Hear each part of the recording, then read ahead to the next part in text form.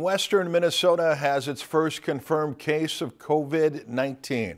Today, the number of confirmed COVID-19 cases in Minnesota rose to 89, up from 12 from up 12 from yesterday.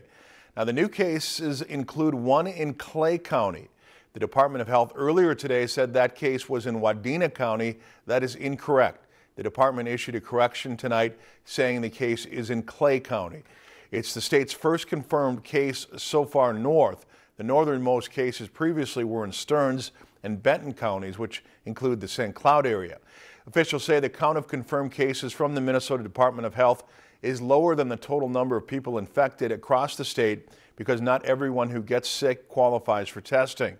An uptick in confirmed cases is expected in the coming days as more tests become available.